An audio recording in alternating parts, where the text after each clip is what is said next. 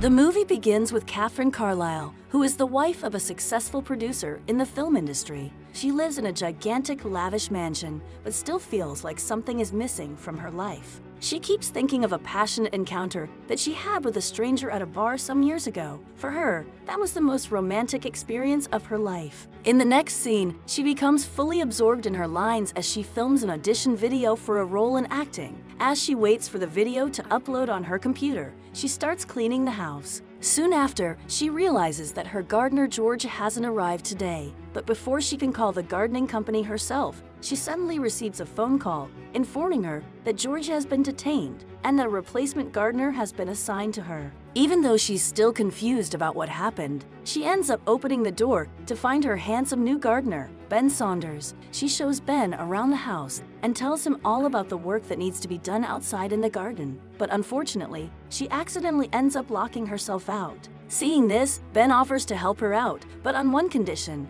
that she won't involve the police. Once Catherine agrees, Ben swiftly picks the locks and leaves right after. As he walks away, he makes a cryptic comment about people being all rounded up and leaves Catherine wondering. Later that day, her husband Richard comes home, and the couple sits by the pool for a while. She tries to talk to him about how excited she is to have new neighbors soon, but he ends up ignoring her completely. At dinner, she complains about a wobbly table that they need to fix soon. Afterward, Richard suggests watching a movie, and Catherine finds the opportunity to bring up her audition role. To this, he insists that she should earn her roles on her own. As the couple watches the movie, neither of them appears interested at all. Then, Catherine asks him to light the fireplace, and Richard walks down to the basement absent mindedly to turn on the gas. But when the camera pans out, we see an unknown person lurking in a dark corner of the garage. Who could it be? Inside the house, Catherine decides to dress up in an attractive outfit for her husband at night. But when she steps out of the dressing room, she quickly realizes that he's already asleep and changes out of her nightwear.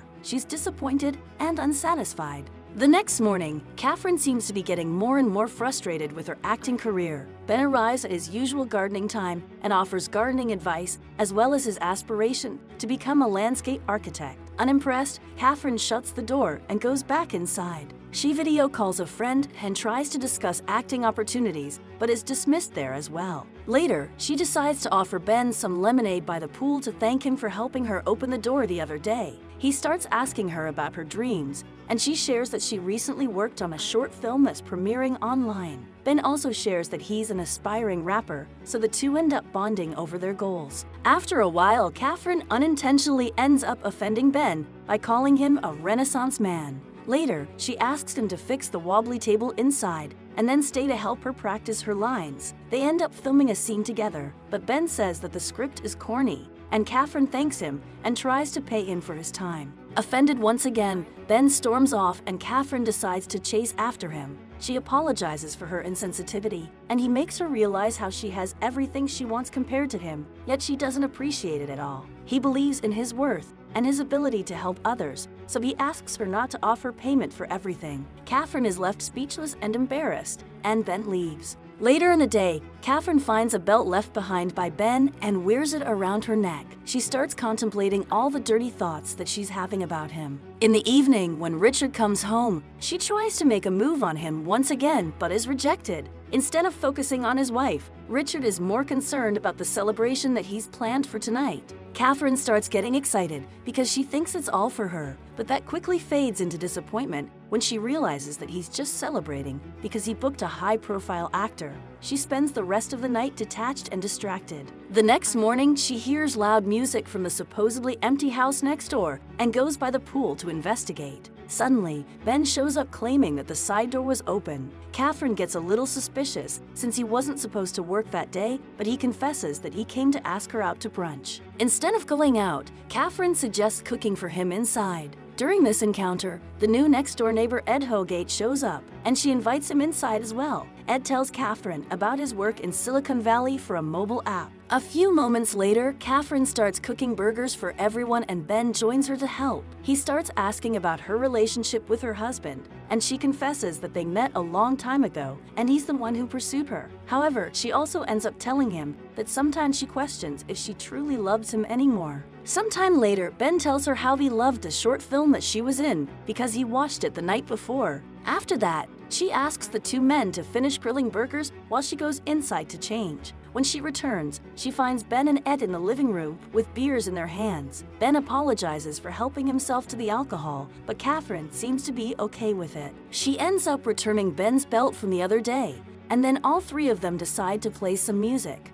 While Ed plays the piano, Ben and Catherine engage in a slow dance. In their tipsy state, they end up kissing each other, but she quickly pulls away when she realizes that this is wrong. Behind her, Ed and Ben get into an argument, and Ed storms off. She encourages Ben to leave as well because she needs to sober up before picking Richard up from the airport, but he doesn't leave. Instead, Ben asks her for one final toast, and she agrees. However, they don't just stop at one toast. They keep drinking and end up kissing once again. Then, the scene switches to two days ago. We see both Ben and Ed Hogate again, but this time they're on a hill near Beverly Hills contemplating ways to get money. It turns out that Ben's real name is Duke, and Ed is his friend named Oates. They saw Catherine refueling her convertible and decided to follow her. They threatened another wealthy looking man into following her car until she reached home. Then the two of them surveyed the perimeter and searched for the best entry and exit points through the hedge. They also started stalking Catherine every day, noticing her as she sat by the pool all alone.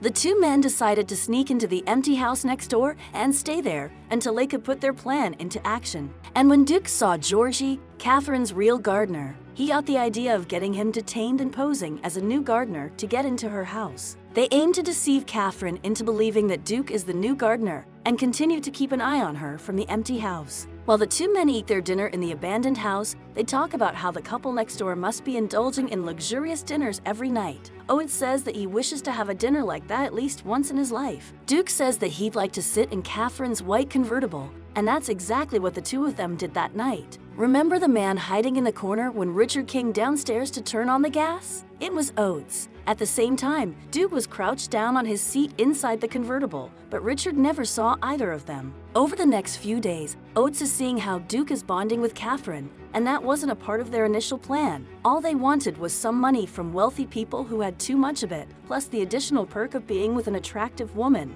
Oates started accusing Duke of only wanting Catherine for himself, which leads to a heated confrontation between the two. Duke pushes Oates against the wall and challenges him to violence if he wants, but Oates recoils in fear, and Duke successfully asserts his dominance by saying that they will proceed according to his plan. In the next scene, Duke is watching Catherine's online film and practices, confessing his admiration for her. He realizes that he might be getting too emotionally invested in this woman. The next morning, it is time to put the main part of their plan into action. This is when Oates comes to Catherine's house and introduces himself as Ed Hogate, and the three of them have burgers and alcohol together. But when Oates sees Duke kissing her, he's furious at his friend's betrayal and storms off. After that, Duke carries drunk Catherine to the master bedroom. Taking advantage of this vulnerable moment, he tells her about Oates' true identity and confesses that he loves her. But even after hearing everything, she still refuses to be with him. Duke thinks that he's just resisting because she's laying down in her husband's bed, so he carries her to the neighboring house instead.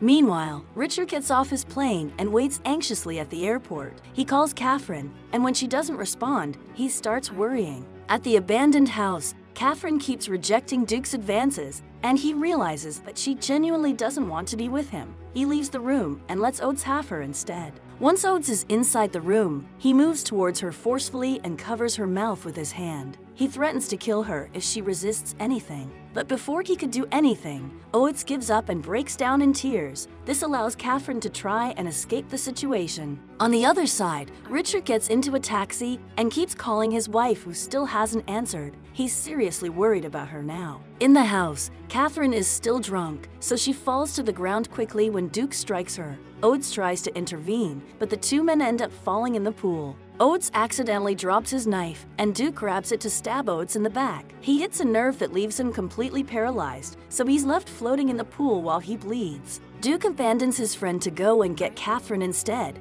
She tries to find a phone to call the police, but he tears out all the phone lines. Desperate to flee, she sees Oates moaning in agony while his blood is mixing with the pool water completely. At that moment, she decides to jump into the pool to hide herself under his body in the water. But in an attempt to regain Duke's trust, Oates calls out that she's beneath him. Catherine begs him to stay silent and when he refuses, she simply turns him over and submerges his face in the water. Since he's paralyzed, he can't do anything now. He screams silently underwater, unable to come up for air. Catherine watches him as he takes his final breaths. Then she stays under him to hide while Duke searches everywhere for her.